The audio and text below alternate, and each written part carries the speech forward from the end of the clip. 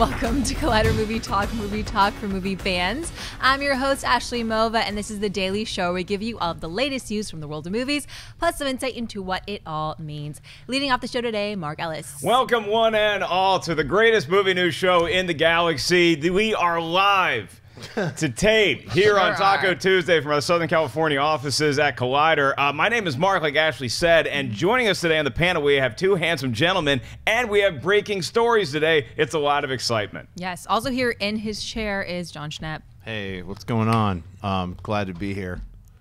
Also here, Kristian Harloff. It's great to see everybody. Oh my god. I hope gosh. everyone's well.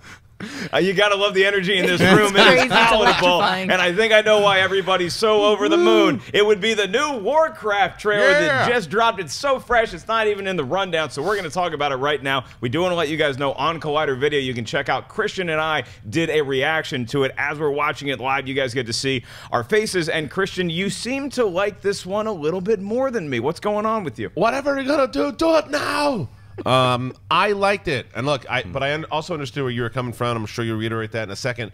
That if you saw this trailer and you weren't on board the first time, I don't think it's going to win you over now. Um, it added a few more things, a couple more images here and there, but the actual story a little bit more but for me i just it's it's the possibility of what duncan jones can do with this franchise it's the fact that i know that so many people involved in this were sweaties of warcraft. And they want they're not just capitalizing on this they really want to bring a version of this property to the fans and to us and to introduce um, a, a brand new realm to all of us. So that I think is what's leading me. And as I see it, and I said this in the review that I felt that the special effects and the way it looks looks a little bit more Hobbit than I maybe would want it to look. I'd like it to maybe look a little more Lord of the Rings. Um, but I haven't seen the movie yet, so I don't know if, if if it fits the style yet. But I really. I'm excited for this film, so I think my excitement is leading me towards okay. The imagery works for me.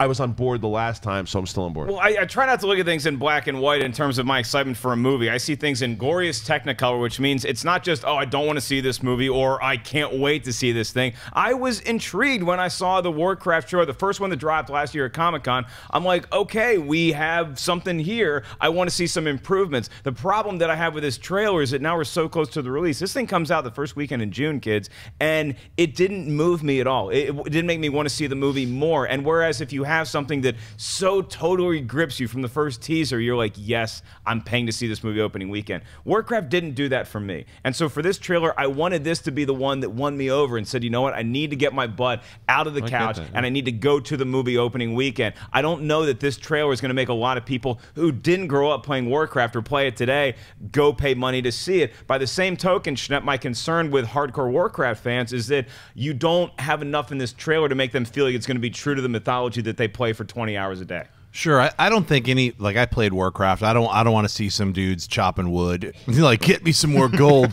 so I, you know, there's certain things I don't want to see in a Warcraft movie that are the mechanics of the game. But uh, I honestly, this second trailer won me over. Like the first trailer, I was like, ah, you know, I, I was I guess it was getting used to the way they had made the orcs look, but they look great. I mean, I think this this trailer actually shows you more of the story, which is what I wanted to see. Like, I get it; they're they're you know humans and orcs, and they're going to fight.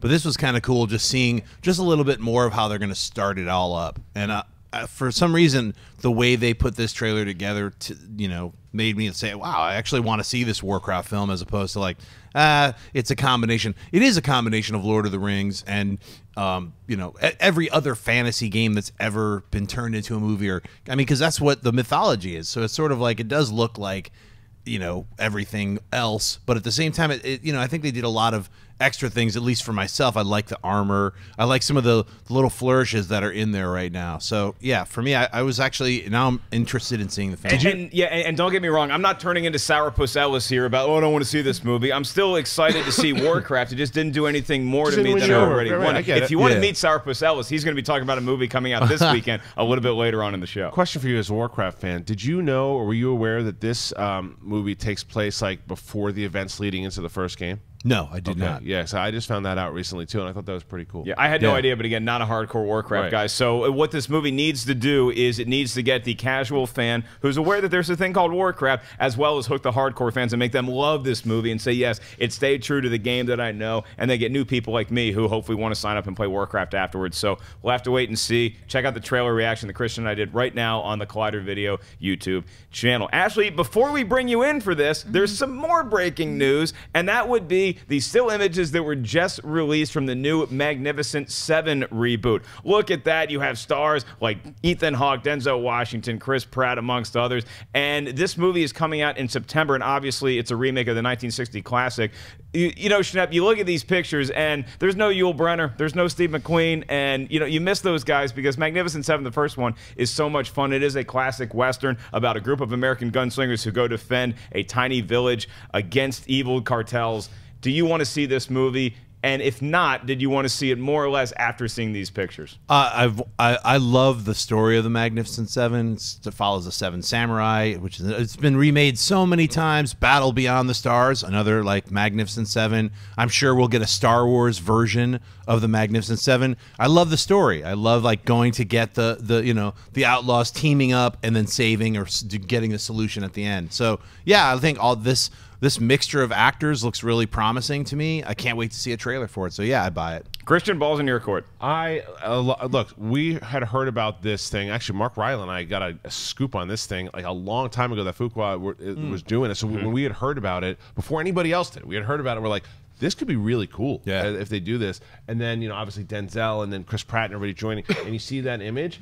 That's a great image. Just, I mean, it's simple, Yeah. but that's your team. Yeah, that's your team. It And looks I- great. Yeah, and I'll tell you who I'm most excited about in that picture is Ethan Hawke.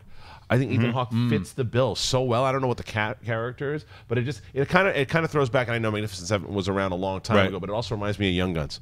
Yeah, definitely. It's got a it's got a cool action flavor, Um, Yeah, and all the what I mean, yeah. characters look different. Like D'Onof- and, uh, Vincent uh, D'Onofrio has like you know he looks like some you know bad like woodsman. I, wh- Why'd you take me out of my cabin? You know. He looks like he belongs in Warcraft. Oh, it yeah, is, definitely. I'll take it. I'm loving this picture. I'm actually really excited for this movie. You know who else is too? Because Schnepp, as you alluded to, that this movie is based. It's based on the 1960 Magnificent Seven, but that was based on Seven Samurai, directed by who? Ashley Mova.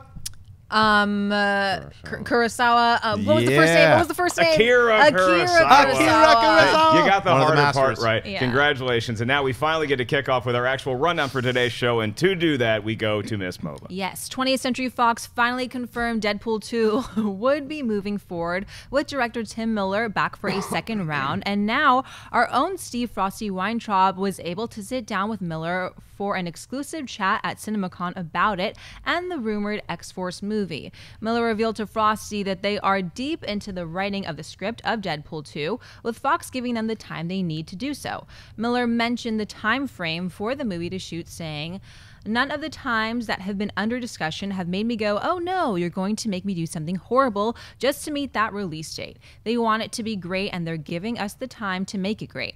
As for the other rumored R rated movie in the X Men universe, X Force, Miller briefly described his feelings for it, saying, I'll just say I'd like it to be an R rated movie, but I've always been very realistic. We're not making fine art here. This is commerce. So if for some reason there was a story that needed to be bigger and needed to be at a certain budget, and it didn't warrant an R rated budget, although it's harder to make that argument now after Deadpool, but let's say we were saying it before Deadpool came out, I understand that.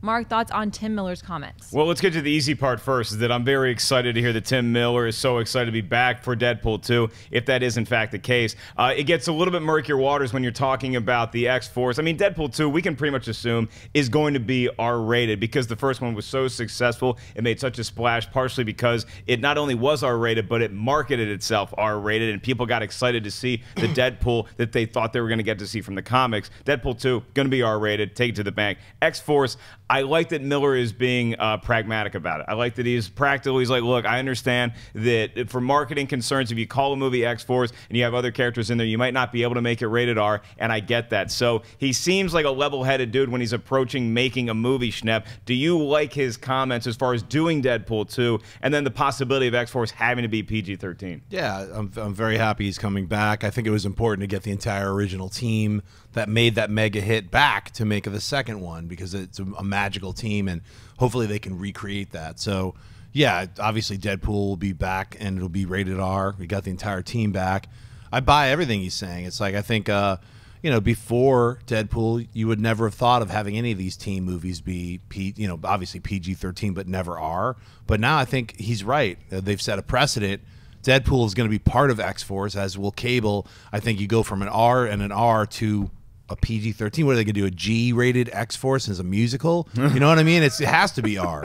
It kind of just, it's like you've already set a precedent. Let these guys rock this quadrant of these with these characters and what all of us fans really liked from the film, which is basically a no holds barred action film with superheroes swearing, violence, craziness, fun. I mean, that's that's kind of what Deadpool is, and that's what I want to see Deadpool too, and that's what I want to see in X Force. I don't want to see them you know, like crimp back so they can like have a family go on the weekend. It's not a family film. It's a it's basically for young adults and older adults. That's what I, how I feel. Okay, now Kristian, if you were a musician, your instrument would be the R-rated trumpet. You love R-rated movies. You love when movies can be true to the source material. So I think we all agree Deadpool 2 should be rated R. How about X-Force? Do you see that being R-rated, or is it going to have to be PG-13? I think it's going to be exactly what Tim Miller said. It's going to be a conversation that happens. That there's going to be arguments towards the fact that it could be R, and there's going to be arguments to the fact it could be PG-13. I will say, Schnepp, that PG-13 doesn't necessarily mean it's going to be G, you know, or No, have I that know, kind I of know. feel or family. But it, like you can make a, you can push PG-13 pr- pretty pretty dark. I mean, not to the level that you did to Deadpool. Obviously, not that Deadpool was dark, but you know what I mean with the, the vulgarity and and the over the top violence. Right. You could still do. You could still achieve some pretty great stuff in a PG thirteen. But I, that being said, I do agree with you very much that you're setting up these characters in the rated R world that whether it be Cable and then and Deadpool and after Deadpool two, that we're going to be so used to this particular set of films in the R-rated space that it would make sense to put that in R-rated as well. And then again, the flip side of the coin is: can you introduce new characters that in X Force that would live in a PG world, PG thirteen world? So maybe there's some PG thirteen elements that that that are added into this world. They, they- let's let's split the middle here. Let's get to PG thirteen. It can work. Let's get right to the edge of rated R and make it PG thirteen so we can get more people out there. I can see either way happening, but what I liked about the comments was that they're going to sit down, they're going to have a conversation about it. And I don't think anyone in Fox or anywhere else is saying Deadpool 2 needs to be PG 13. That would set people off. And I don't even think it's it's a conversation we need to have because it's not going to happen. Right, Yeah. and I, w- when you look at X Force Schnepp, it's like I, I, here's what they can do. If X Force is rated, rated PG-13, they can have a blast with that marketing strategy because it's basically going to be Deadpool making fun of the fact that now he's in X Force and that's PG-13, all the while getting us excited to see the movie. But the actual film itself, how limited is it going to be from the comic books if you can't make that thing R? Well, what's interesting is like to make an R, all you have to do is drop two f bombs, which I think you know that's stupid. You have one f bomb, it's PG thirteen. Right. You have two, it's R. So the the rating system's already flawed and dumb. It needs to get worked on and fixed. effed up. Just it's effed up. Um, but aside from that, it, it could be a challenge for them to have you know Deadpool come up with different like PG thirteen rips on people. You swabbly Windheimer. You'd be like, "What's that?" Well, I couldn't say what I really wanted to say. So you know, I don't know if they want to take that Pepsi challenge or not. I think just make it R. all right, you Windheimer mofo. What's our next topic? Amazon has now changed up their streaming slash Prime membership in order to compete directly with Netflix, with the Wrap reporting that they will be launching a standalone subscription service just for its streaming video arm for $8.99 a month. Amazon Prime was previously charging a $99 a year membership that included free and second day shipping of physical goods. But now that video services have expanded into original programming, Amazon has made the long overdue move to compete directly with Netflix and other services. Amazon's video service will be priced below the popular tiers of its larger rivals like Netflix, which last year raised the price of its standard plan from $7.99 to $9.99. No word yet on when the service will be officially launched. Schnepp, what do you think of the new pricing plan for Amazon streaming? I think it makes sense. I mean, hey, look, you know, all of a lot of people are probably like, look, I buy things on Amazon. It's only seventy five bucks. I get these extra movies, and then in the last year or so. Like wow, Amazon's actually worth seventy five bucks a year, you know? Because when it when they first started, it was just like you know a bunch of half ass rejects from Netflix and Hulu. It's like everything's the same. Why would I need to? I don't need Amazon. They started their original programming. They've stepped it up, especially in the last two years. So they've actually become another one of these brand new streaming networks, which is absorbing everything away from cable, makes sense if they become a, a monthly fee. So Right. why not? Yeah, I mean, it, it makes a lot of sense to me because Amazon is the biggest player in that game. And for them to be doing this, they might have the biggest library of anybody. We don't know how extensive their movie database is going to be because, you know, you go on Netflix and it's like, oh, I really feel like watching Tango and Cash. Oh, it's not streaming. That sucks. Will that be available on Amazon? Right. We don't know that yet, but the original content game is where it's at. That's why you can charge. That's why Netflix could up their price from seven ninety nine to nine ninety nine because if you want to see Daredevil, okay, you want to see Kimmy Schmidt, you got to go to Netflix. That's the only place to get that stuff. So Amazon needs to create original content that's going to rival that, and we're going to end up paying those charges instead of cable bills in the long run. Kristian, are you excited about this? You already have Amazon Prime, I believe. Are you going to be on board with this? Absolutely, it's brilliant and it's smart. And I, what it's also going to do is it's going to up Netflix's game. Mm-hmm. And you know, it's the same thing. I'll throw a wrestling reference in there. When WCW and WWE were going at it back in the day, the products started to get better because there's more competition. Netflix is already awesome, so they're going to have more stuff. There's going to be these these battles of who gets it, and because Netflix is putting in these bids for big movies and stuff already mm-hmm. now, and and and you're going to see it more from Amazon. You're going to see it from more from Hulu and. I think that this is a great move. I think it's it is it's the evolution of the streaming process. It's these are the new networks. This is the new network stuff. This is the stuff that the best stuff right now on television are coming from whether it be Netflix or these these series. Like I loved 11 22 63 and that was that was Hulu. I was like locked in. And you know, and even like something like uh, the People versus OJ, which when you watch that, I watched it all on demand, but it's still it wasn't it didn't feel like network television, you know? It felt like there, there's more of the way that they're just just recording stuff now and the way that they're just approaching stuff now. And so for amazon to do this you're going to see a lot new more new series here. Now who, now uh, the exciting thing is we've always talked every time i talk about uh, the Knights of republic and i talk about uh, well maybe they, they, they sign a deal with netflix i like the conversation that i'm going to be able to have like who knows maybe amazon maybe amazon does it now amazon's going to have is going to be in the market so i think it's a great So thing. to summarize your argument, you like this because it's another platform Yes. where a potential Star Wars property could land. Correct. That's always good news. Or maybe even uh, look, who knows what?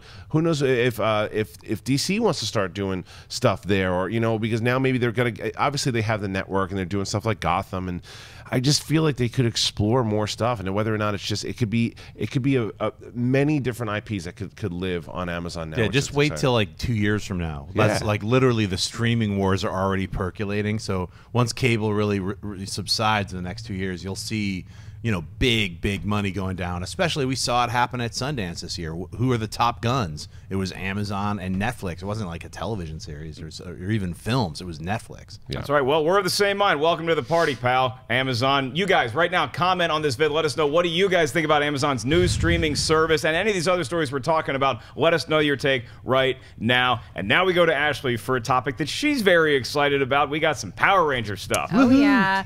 Entertainment Weekly has given us an exclusive first look at Elizabeth Banks' Rita Repulsa villain from the rebooted Power Rangers movie. The actress stars as the fan favorite character in the new movie that features five super teens, better known as the Blue, Yellow, Black, Pink, and Red Rangers, fighting to take down Repulsa, the evil humanoid alien witch trying to conquer Earth. Power Rangers will drop in theaters on March 24, 2017. Kristian, thoughts on Elizabeth Banks' Rita Repulsa? Oh, the dre- oh, the dreaded shit rats are coming out for Rita Repulsa. Is that really necessary? No, I, li- I like. I actually really like this. I'm going to buy it. I, th- I, I I have been pretty vocal. We're about- not selling it yet, but you can.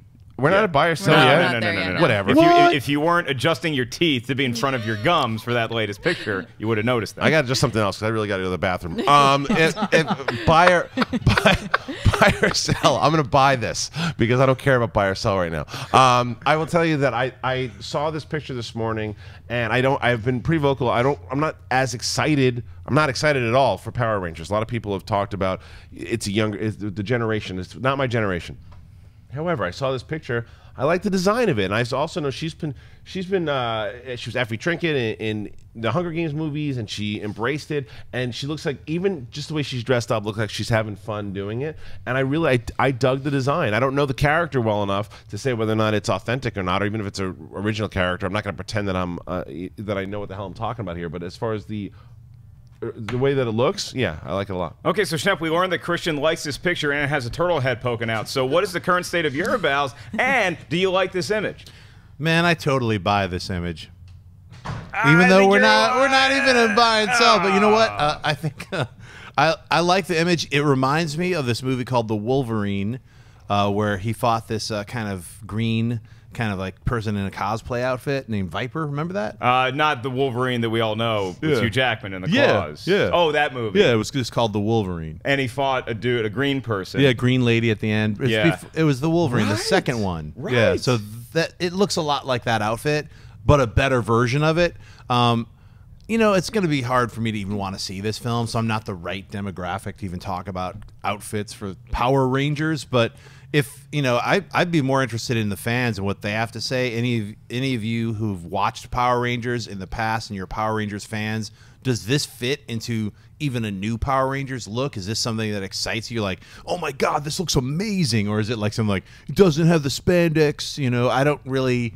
I don't get Power Rangers at all. So for me, it's like she looks cool. She's got like some weird little nobulins on her face, and she's all green. I don't know. Well, you know what? You're in for a treat as well as everybody else out there because we happen to have live right now someone who might be a fan of Power Rangers or at least in that demographic. Now we go to Ashley Mova. Did did you grow up watching Power Rangers at all? I used to be obsessed with the Power Rangers when I was about five. I wanted to be the Pink Ranger so bad. Needless to say, I mean, I was you little look like the fluffball. Pink Ranger right now. Oh my gosh, thank you.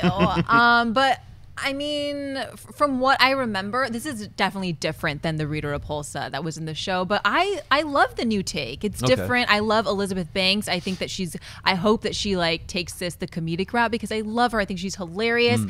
Um, I was saying in the pre-production meeting that I think that she looks like Lady Gaga wanted to dress as Robin Hood for the Oscars, and this is what she came up with. Nice. Um, I'm excited. This makes me excited for it. It's not like, you know, OG Rita Repulsa, but it's a new take on it. Yeah, I, I don't really care about this image at all. Like it doesn't it doesn't look stupid Oh, to me. you're so It's- cool, Mark. I don't care at all. It's not, it has nothing She to just do called you a loser. with how Bam. awesome I am. I know that I'm the coolest guy here in the panel, or I know that I can at least get through a 45 Man, now, minute now you just called me Uh, and you. to a pee joke. Now we're tried to- I losers, Kristian. All right, whatever. No more Gatorade for you. I don't care about this at all because I'm just too goddamn cool. You heard it here first. Okay, now it is time for Kristian's favorite segment: buy or sell. Sell. What's up first? According to a report from The Wrap, Star Wars The Force Awakens star Daisy Ridley will reteam with her director J.J. Abrams on Kolma, a fantasy thriller that Diary of a Teenage Girl director Marielle Heller will helm.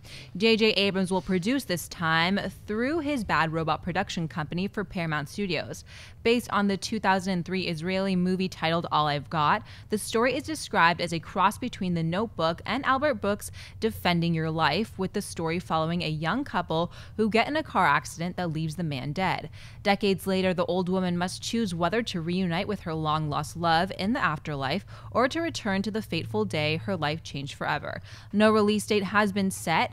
Mark buy sell Daisy Ridley's new movie, Coma. It's a buy for me with the talent involved and that premise. I mean, look, the Notebook. Yes, I really enjoyed the Notebook. The end got me just a little bit misty-eyed. And Defending Your Life. You guys have not seen Defending Your Life with Albert Brooks. It is a masterpiece. It's great. You got Albert Brooks and Meryl Streep. I'm literally going to take you guys outside and bring you to the woodshed and beat you mercilessly because I'm talking about a movie I really care about. Maybe Coma's going to end up being that good. Maybe it won't. It might just be something that comes out under the radar that we enjoy. But Daisy Ridley, look, she's got big things planned for her, and uh, I can't wait to see this movie now.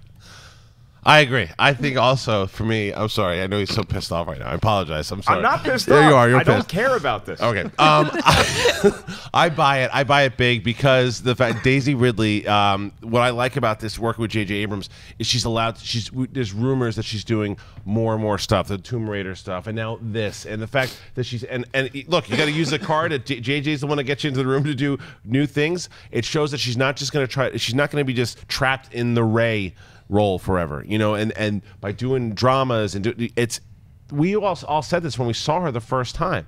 This is a this is someone who already has the chops to be a big movie star. We saw that. And now she's going to prove that she's got the chops to be like an actress that we want to continue to go watch in these films. I think this is a really good move. And the, and the, the book uh, synopsis sounds really interesting to me. Um, the idea that it just crossed back into like the the Notebook and the Albert Brooks film. Yeah, I, I buy this one. I like what, I, what I'm hearing. Schnepp, what do you got? I buy it because uh, of the the smarts that J.J. Abrams as a producer has to get the director of Diary of a Teenage Girl, which was a fantastic film, uh, one of my top tens of last year. It blew me away at what a great film it is, and it's mainly because of the director. What's her name again?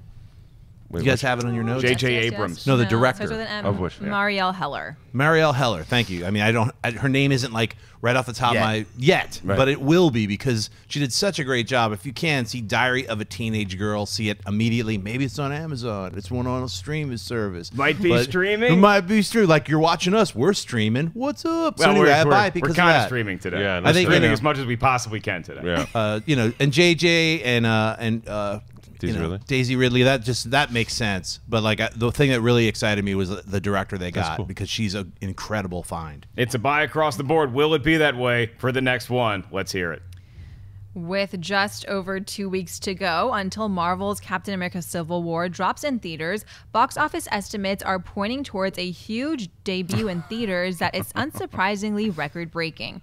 Early predictions have the Joe and Anthony Russo directed film set to bring in 175 million in North American theaters, with other sources pointing to even a possible 200 million, a prediction which puts the film in the top five openings of all time.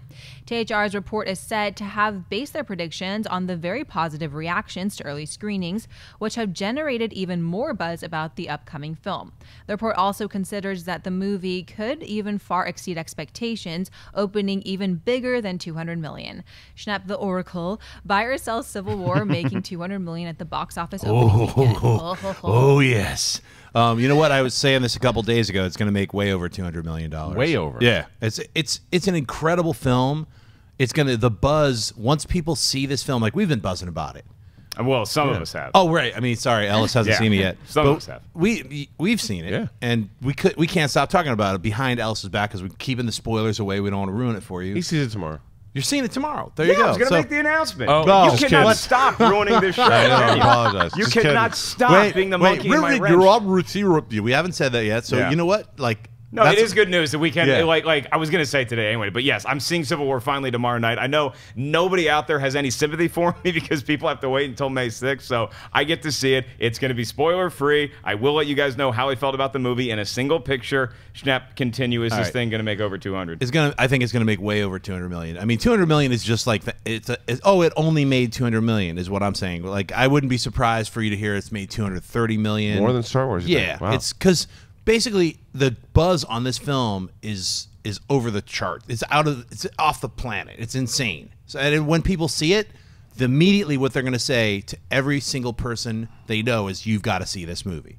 So that's all that's going to happen is on Thursday and Friday is that's all people are going to hear. So they're going to they're going to run to the theaters on Saturday and even Sunday is going to be insane. So I mean that's my that's what I feel. I feel like that's what's going to happen. Huge buy over there. How about over here? I'm gonna buy that it, that it makes 200 million. I'm not gonna buy that it, that it goes Star Wars numbers because I just don't think it covers the generations that that Star Wars had. Um, be- Spidey.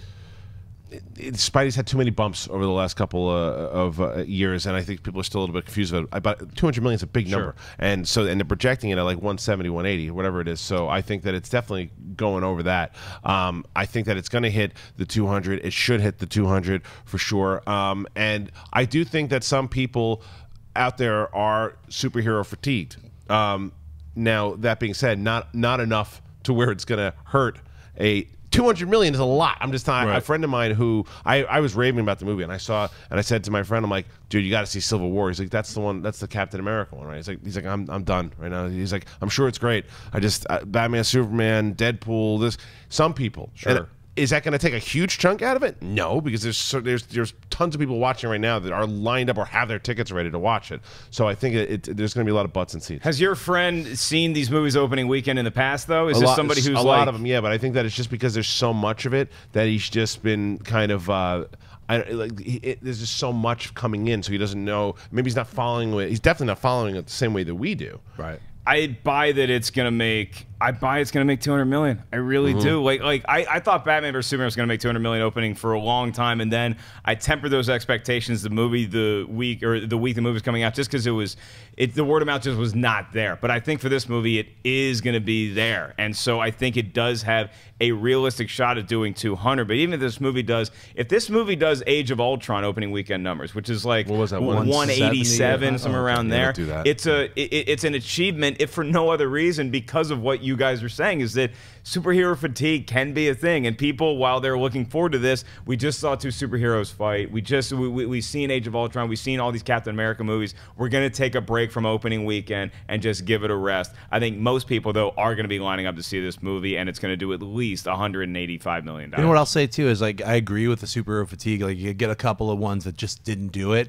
but I'll say you know people who are like maybe weren't that happy with Batman v Superman from all the buzz that they're hearing, they're like, no, this is the one we wanted to see, Right. and it delivers. I think there's two separate people. Yeah. The- the- for sure. There's there's that person you just said that was so looking forward to Batman vs Superman and said, "Well, I maybe I didn't get out exactly what I wanted. Just maybe still really enjoyed it, but but still want to see a different kind of fight." But then there's the other side that is just more of the casual person. It's like, I'm gonna wait. Uh, maybe whether it's not for opening weekend or maybe not at all. We don't know. And then there's the third type of person who wants to see it opening weekend but is grounded because they acted up on movie talk. Ashley, what's our last buy or sell? As 20th Century Fox looks to the May 27th date of Bryan Singer's X Men Apocalypse, the marketing department is now taking over, releasing a set of new historical promos that tease the ap- appearance of Apocalypse throughout the years, suggesting that the world's first mutant has been the cause of many famous disasters from our history. One promo launched on Twitter reads When Apocalypse rises, civilization falls.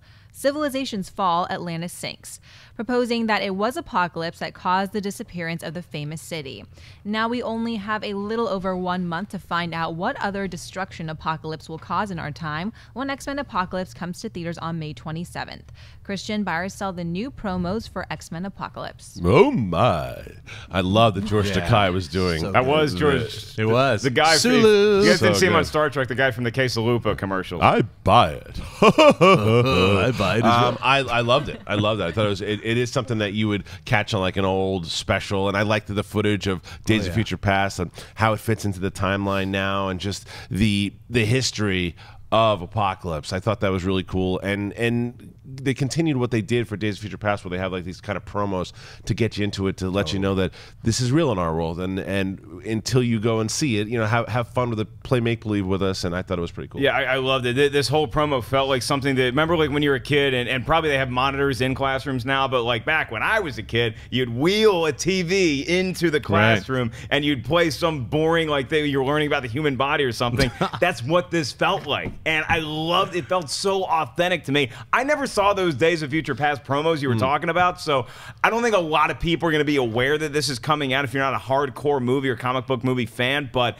if you get the chance to see this, it's really entertaining. It's like a minute long. Check it out if you haven't already seen it. Schnepp. It's fantastic, and you know what? It's it's directly aping is we're all on YouTube right now. So after you've watched our show, check, just type in "in search of," and it used to be narrated by Leonard Nimoy. So that's what this oh. is a mm-hmm. tip of the hat to. That's why they got George Takei. So and it's a, it, it was so much fun to see something like an "in search of" opening sequence, but like this week we talk about is apocalypse Yeah. real, and then they you know feed into X Men footage, have pyramids and stuff. It's a lot of fun. I I love this promotional campaign. Hats off to whoever thought this one up. Three topics, nine buys across the board, and now with all this positive energy, we go into opening this week. Brought to you by our friends at AMC Theaters. Ashley, what are we talking about? The Huntsman Winter's War, ah. betrayed by her evil sister Ravenna, Charlize Theron, heartbroken Freya Emily Blunt retreats to a northern kingdom to raise an army of huntsmen as her protectors. Gifted with the ability to freeze her enemies in ice, Freya teaches her young soldiers to never fall in love. When Eric, Chris Hemsworth, and fellow warriors Sarah Jessica Chastain defy this rule, the angry queen does whatever she can do to stop them. As war between the siblings escalates, Eric and Sarah unite with Freya to end Ravenna's wicked reign. Uh, I didn't like this movie. I I saw it last night. Kristian and I saw it. Some other Collider folk got a chance to check it out, and uh, I I just didn't dig this movie. Sorry. I I actually liked Snow White and the Huntsman. Okay, I thought it was okay until Kristen Stewart tried to be like giving a pregame speech like she's Vince Lombardi, and that thing just fell flat. And the end of the movie kind of did too. But I don't know why. I don't know who this movie's for. I think is the big question for the. I don't know that a lot of people love Snow White and the Huntsman so much that they want to see other stories in this universe. And the way that it's told, it just didn't grip me at all. And I thought Emily Blunt as the Ice Queen just brought nothing to it. I thought she kind of embarrassed herself a little bit. Charlize Theron, it's pretty much just you know, mailing it in. Chris Hemsworth and Jessica Chastain, there wasn't a whole lot of chemistry there for them. I didn't buy a lot of the story points. I there's very few things I liked about this movie. As I'm talking about Kristian, I just don't think I need to send anybody to the theater to see this. Do you feel differently? Uh, it's garbage.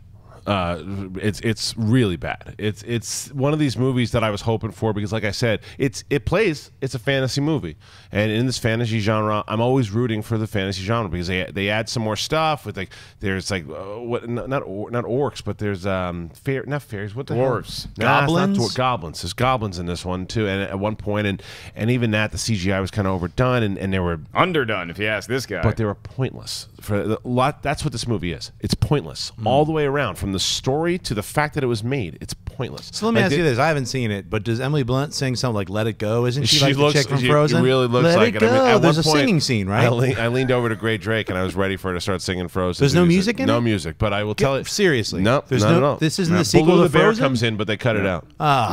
Yeah. Um, but I agree with you. I also think Charlize Theron uh, it was just screaming and yelling the whole time when she's in it. She, it's it's it's worthless. Um, and I think you got to blame the director because I think that from the majority of it, they don't know what they're doing with a lot of the actors in it. Like it's like they rely on Hemsworth to smile to get him out of really boring moments. Um, they, I actually the only thing I disagree with you is I do think that Chastain and Hemsworth had good chemistry. It was the only storyline that I cared about. But the other thing is, I seen the trailer, and the way that they cut the trailer, they they give you all, a lot of story information, story information, but they give you as much story information as you possibly can in this trailer. But then they try to surprise you during the movie, mm. and they try to. I'm like, I know that's going to happen because you showed me in the trailer. There were four times that that happened. That thing. I'm like, wait. But I know that the story's not about this because you mm. sold it differently, and the way that they set up Emily Blunt, Emily Blunt, who I haven't seen give a bad performance, this is one of her worst performances ever. I uh, when the poster says at the top of it from the producers of Maleficent, like if that's what's getting us into the movie, I just don't think you need to see this thing ever, whether it's going to be in a theater or you're streaming it on Amazon years down the road. Ashley, please get me out of this segment. All right, well, we're going to mailbag. All right, mailbag is one of our favorite places here on the show because it's when we hear from you guys. You guys write us in and let us know exactly what you think. Ask us a question. If you guys want to do so, just email us collidervideo at gmail.com. And at the end of the show, we're going to take some time for your live Twitter questions. Even though we're not live, you guys know how to tweet us at Collider Video. Ashley's going to pick a few out of the hat. Ashley, what's up first in the mailbox? Jeff Stevens writes, I found myself laughing at various comedies and jokes, but I've also had instances where I found myself finding something funny even though I didn't laugh at it.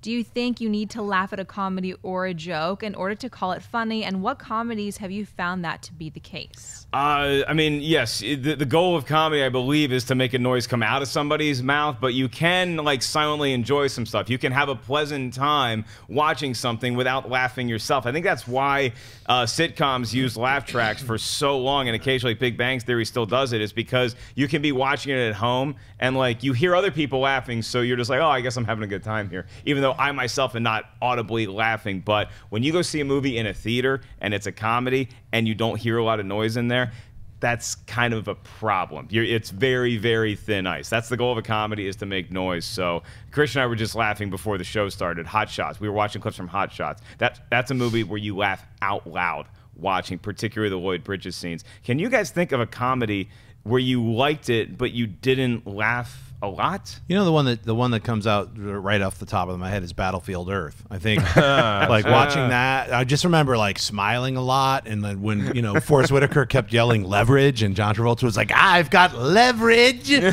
I just remember smiling and feeling like weird. I don't know if it was laughter, but that's all I got. Well, you know, uh, also according to the Golden Globes, The Martian is a comedy, and I didn't right. audibly laugh at a lot of. I did some. I found but- myself smiling at at, uh, at Matt Damon's kind of jokes and his little references when he was stuck in that biodome. So yeah, I mean, The Martian is also another comedy that I found myself silently laughing at. You know, Kristian silent laughers. Uh, they're awful to have at comedy clubs. How about at a movie theater? You ever seen one? Uh, Yeah, because I think that there's certain movies that you watch that. Uh, one of my favorite comedies of all time, which I don't really normally get huge belly laughs at, is Groundhog Day. Like, there's this, the thing with like when he's like Ned punch in the face. Always that that that always got me. But that movie is a comedy, but you you're it's more about the premise and what Bill Murray's doing throughout it, and you're engaged in it the whole time. That it's not one of those ones that you're just holding your side, just cracking up, laughing about it. So I think there's tons of those. If you went through a list and and like even uh, like Ghostbusters, another Bill Murray movie.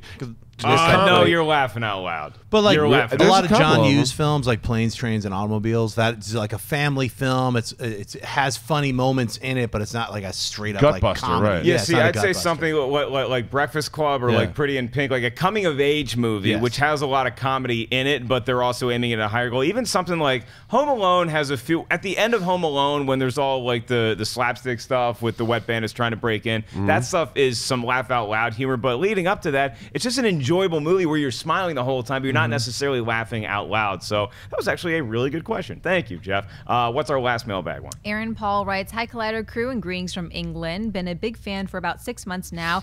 And my question is, what are some of your favorite film posters of all time? Personally, I would go with Jaws. Thanks and keep up the great work. I love movie posters. I'm a huge fan of them. My favorite movie poster of all time is one that's it's actually well besides Kingdom of the Crystal Skull. Temple of Doom is my least favorite of the three Indiana Jones movies, but there is a poster where it's Indiana Jones and he looks like there's some, you know, stuff going on behind him like that's the entrance into the Yeah. Temple of Doom and he's standing there and he's got like what is it, like a machete and, And it and says the whip, if yeah. adventure has a name, it must be Indiana Jones. And it's just like that's just you you got me. Here's my whatever it costs to go see this movie. I want to check this out. There's also a poster that I really liked, and I don't know why I like it so much. I never have seen the movie. But I've always wanted to see the movie, and that's Natural Born Killers. It's just that poster, the way Woody Harrelson looks. Like a year ago, this guy was Billy Hoyle to Wesley Snipes' as Sidney Dean, and they were on the playgrounds of Venice, and White Men Can't Jump. And now, what the hell happened to Woody? Har- Who is this guy? I need to know more about this character. I like when posters intrigue you about the character you're paying to see, even more so than the movie overall. So those are a couple of my favorites. Schnepp.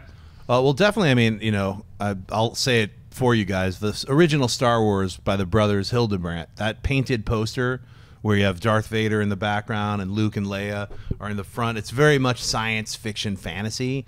Yet it also, it just as a kid, that's something that really sticks out to me. Did the Um, Hildebrandt brothers do that? Yeah. Oh, that's awesome. Yeah, so- they, they like to paint a lot of girls with boobs. Oh yeah, Yeah. they they uh, they're good painters. Uh, Huge one fans. of them is not around anymore, but there's still one brother. Um, but uh, yeah, like I, I've got to say, Blade Runner. I have that hanging in my office. I love that poster. I love a lot of the the old '80s posters, like the Conan the Barbarian poster.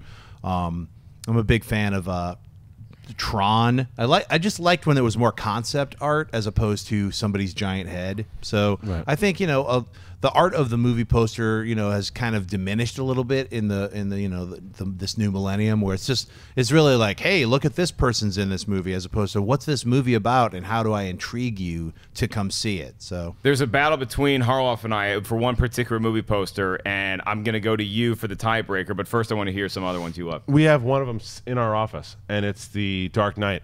It's the one. It's the one of uh, Heath Ledger, this Joker. Why so serious? And he, and he's he's kind of painting on the the Joker smile on the side, but he's it's like he's behind like a glass window. I love it. I mean, I fell in love with it when I when I saw it the first time, and it was even before he was introduced as the Joker. So it was just you knew they knew what they had also by the way that they were marketing it, and you got just from that poster alone. I wish we would have got that on tape. Um, but the, That was laugh out loud. yeah, that was gut laugh out loud. That So was. That's one for sure. Back to the Future, I think, sums up perfectly what that movie is. Yeah, the look on Michael J. Fox's face, the DeLorean's um, wing, kind of, you know, the door kind of up in the air was a good one. And then there was uh, one other one that I had. Oh, the going back to because I agree with you, Schnepp, that today a lot of, and I've made mention of it many times in the show. It's like face, this someone's face the whole time. That's the trailer. I mean, that's the poster a one that did it a while ago in 1984 that worked really well.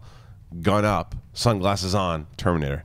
Oh, Schwarzenegger is the Ah, yeah, I thought Terminator. you were talking about Beverly Hills Cop. no, no, no. But Schwarz- I- oh, there it is. Yeah, Schwarzenegger is the Yeah, Terminator. that was a good one. That yeah. bad boy. Love That's that a yeah. pretty sweet one. Yeah. So the one that you and I, do you know what I'm talking about? The one that you and I argued about is you. We, we both ended up liking the movie, but you thought the poster was not a good selling point, and I thought that the poster for the 40 year old virgin so perfectly sold what that movie. like Mark Reilly in is the poster. going to be. Yeah. It's just yeah, so it's just funny a to red look at. background with Steve Carell. Like Yeah.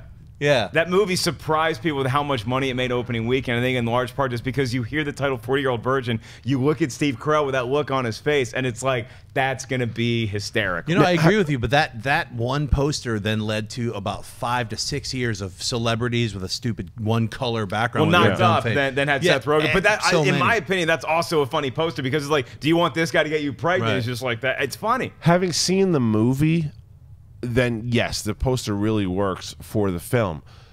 The selling point, though, to get like, because I, didn't, I had no idea what the movie was about. I remember I actually saw the movie with Mark Reilly also, and we were driving to see it, and we saw that poster. And we're like, it just looks stupid. What kind of face is he making? What is it? What, it's not telling me about the movie at all, too. And then once you learn about the character, does it play into the movie? doesn't work? Yeah, but it was a dangerous move. Sure. Because it, you didn't because paid you off big time Hey, opening. you with know what? I argue the point of both of you. I think that the po- I don't want that poster hanging in my house. You know, it's not it's not like a piece of art. It's like you know Steve Carell's dumb face. But for me, when it came when that poster when I first saw it, it made me laugh and it made me actually intrigued. Like, what the hell is What it? is that? You know, what is this goofy? You know, what's it about? So I think it worked as a sales tool, but not as a piece of art. Right. Well, we don't have the benefit of the live chat here today, but we definitely want to hear from you guys. Comment and let us know what are your favorite movie posters of all time. Ashley, I'm going to ask you what your favorite movie poster is. You're not allowed to say Mean Girls. Well, you have to go obviously, that's one of my favorites. another maybe backup poster But you I really do like. notice that when I'm at the theater, something that always catches my eye are the horror movie posters Mm. because those just really like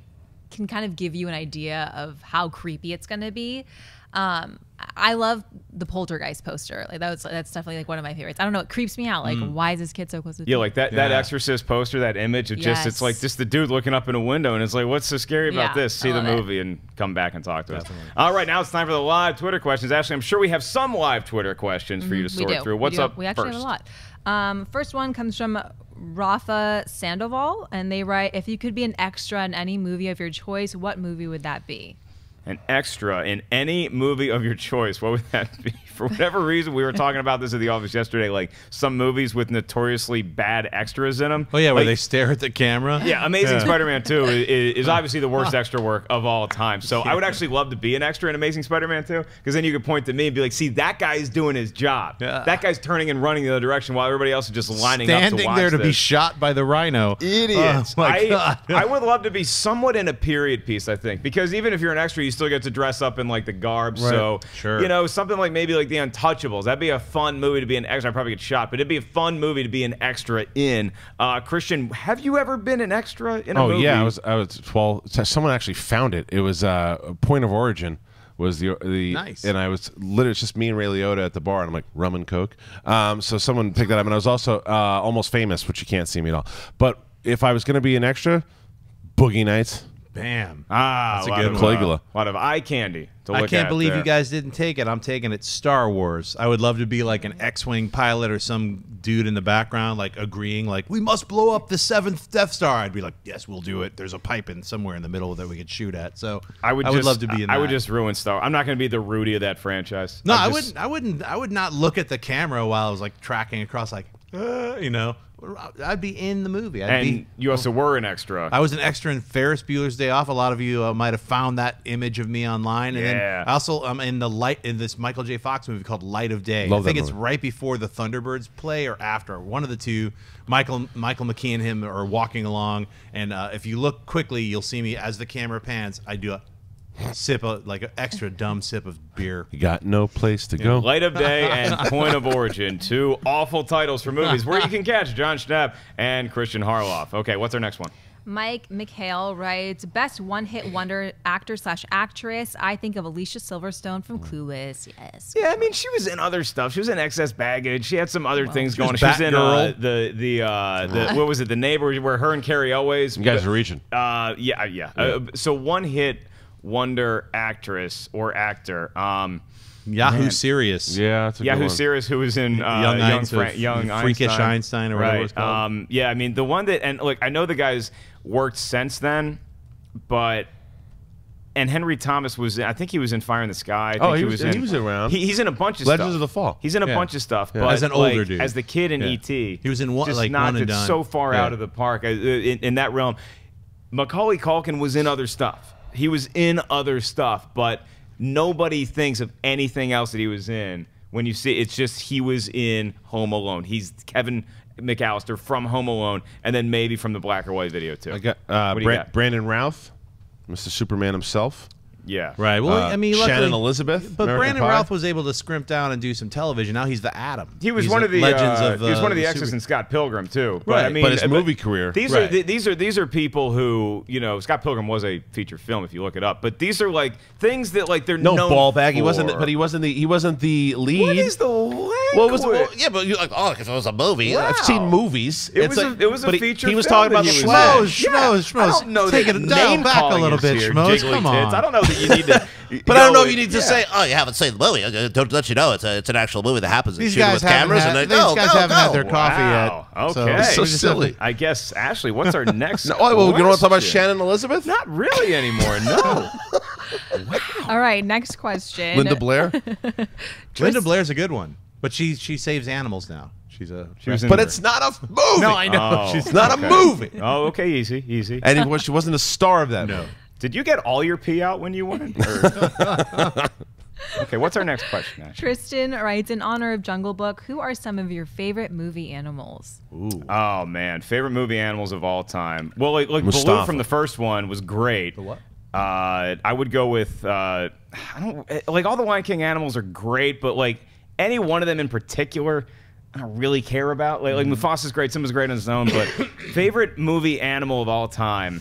I would go with the fox from Robin Hood. Oh, Robin Hood, the fox. Yeah, and sure. Marion's great, but the fox and Robin Hood to me, is everything you want out of a Robin Hood. Boy, I mean, since we were going animated, you could you could pick a lot of like animals like Bambi, uh, Dumbo, Baloo from the original animated Jungle Yeah. Book.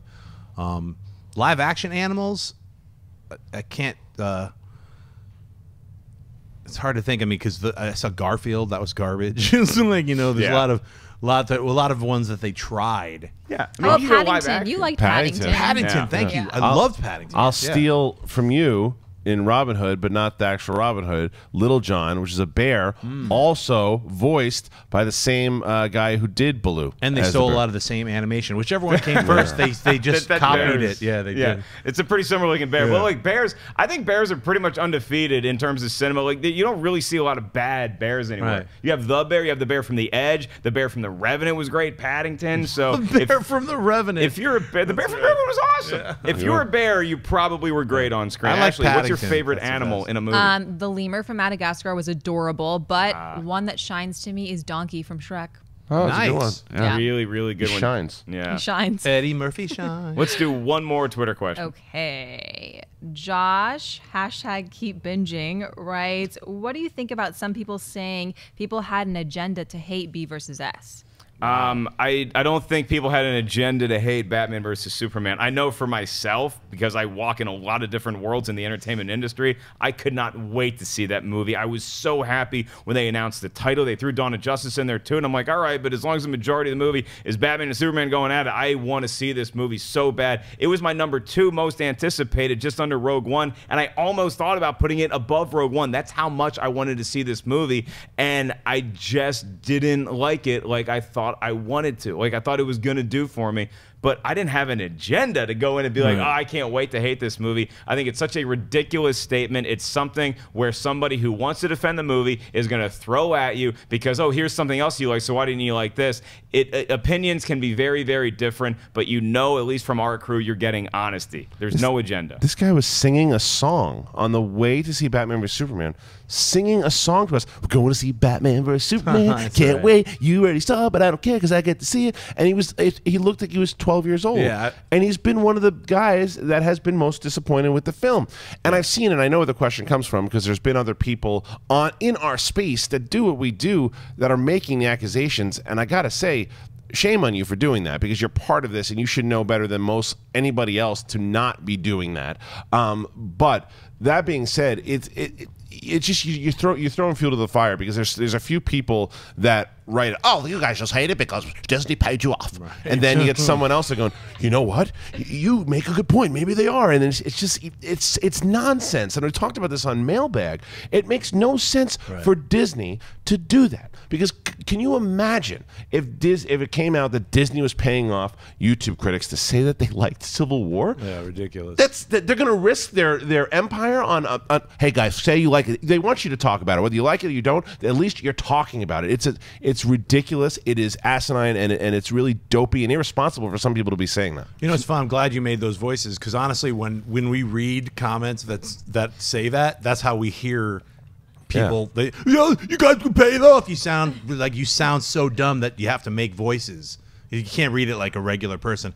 The, your your question though, it's, I'm glad you brought up. There is zero agenda. I, like Kristian said, I was so incredibly excited to see this film and so disappointed by the outcome that it actually took me almost a full week to recover from my disappointment. Like, I mean, we did a review the like literally an hour after, and my numbers kept dropping every every day. The next day, it dropped a full point, and then the next week, I was down another point. It was just because I saw it again, and it was like it didn't work out for me. The story didn't work. Uh, the characters didn't work. I felt there was like a, a, to me, almost a betrayal of the characters in a certain sense, as to at least what I expected or what was my opinion of these characters. So, I mean, every everybody has their own opinion. I mean, all the people who love Batman v Superman is like, I give it a 10 out of 10. It's a masterpiece. Just because I didn't doesn't mean I'm wrong. And I'm not saying you're wrong. It's our opinion. But there was no agenda at all. I wanted to love that movie. I wanted to, I wanted that movie to be the number one film of all superheroes uh, for me and it didn't it didn't happen. So you know the great thing about it is hey people learn from their mistakes. Recently we heard there was like a four hour cut of batman v superman. That alone should tell you why at least some people didn't like it or say it didn't make sense or felt that it was like, oh, these storyline segments just drop off or don't have any. There's no reason that people want to do this. There's no. I mean, that's what I'm saying is like they had four hours and they had to cut out an hour and a half of story. I mean, that's that'll tell you something. You know, I, I don't think anybody went in to see Batman v Superman with a hate on. And I think DC has a like 10 more movies to make it up for us. Uh, I think Suicide Squad, I'm looking forward to that. There's nothing there's I mean I wish I was on somebody's payroll. That would be awesome. Yeah, you know? it'd be nice for anybody to pay me, but I still would not take it because I want to be honest in all of our opinions. I think we want to be honest and we want to love every movie. We go I wanted to love Huntsman. I wanted to go in there and be like, "Man, that movie really surprised me." Just doesn't happen sometimes, and unfortunately that was the case with a lot of people with Batman versus Superman. If you loved it, great. Just didn't really do it for me the way I thought. You know, that's something that, uh, that's should be said.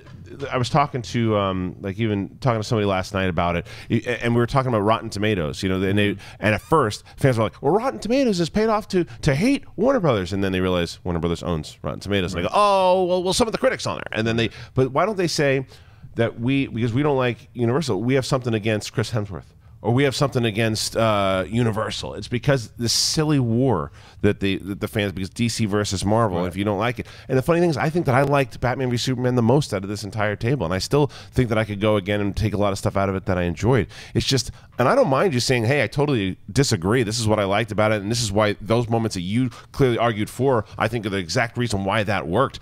I like those conversations, and I think that if you see a certain movie one way, then you should defend that. Right. But to be irresponsible and to say that you are paid off, and as a fan, if you're screaming out there and you're saying that, then that's just that's just lunacy. But if you're in this space, if you're part of this community and you're doing that, shame on you. Wow, we took it like a crazy madcap show. We actually, yeah. you know, kind of tied it together in a yeah. nice bow, and that was a really nice presentation of an argument that's going on all over the world yeah. right now as to whether people have an agenda. And uh, Job well done, boys and girls. Okay, that is it for Movie Talk here. Uh, thank you guys so much for joining us on a Taco Tuesday. I want to thank everybody behind the cameras for keeping us semi sane, and then, of course, the crew in front of the camera. First of all, Mr. Jon Schnepp, where can people find you when you're not napping? Uh, when I'm not asleep and uh, late for work, you guys can find me uh, on Twitter and Instagram, just at Jon Schnepp. Uh, check out my Kickstarter. It's the last two days. Rally, help me make this film. Uh, Sweaties Unite, Rise of Uber Nerd. You could still donate. Let's see if we make this film or not. You know what is going to happen though? This Friday, I'm going to attack uh, Woodstock, Chimpstock, whatever his name is. I'll just let's just uh, sit on Chimpstock for right now. It's going to be a battle. Let's see if his luck wins out this time. That movie trivia schmoedown will be live. You guys can check it out. Collider video on Friday. Kristian, you have a lot of affectionate titles you like to call people from time to time. Where can everybody find you? You can find me on Twitter and Instagram, and also look. I just mentioned uh, Twitter because I have, a, have two polls up, one on Schmoes and one on my personal Twitter, and it's a matter of who do you think's going to win? Is it going to be Mr. Schnepp or Mr. Finstock. People are saying this is going to be our first knockout of the new of the new tournament. The Schnepp's just going to roll over Finstock. Very curious to what you guys say. I'm, the poll's going to be up there until Friday. Got about five days left. Go vote. And then on the, the um, Schmoes Twitter, we have what match are you looking forward to the most? Schnepp versus Finstock. Next week's title match with Reilly versus JTE, or the team tournament, the team finals with myself and Mark Ellis against JTE and Mr. Finstock. And the Pink Ranger, Ashley Mobile. Where can everybody find you? On Twitter and on Instagram, Ashley Mova. Happy Tuesday, guys. Well, remember, guys, you guys can always go to AMCtheaters.com to get your latest box office and Showtime ticket information. And Collider.com is the website you should go to for all your latest up to date movie news. That's where we get a lot of the scoops that we talk about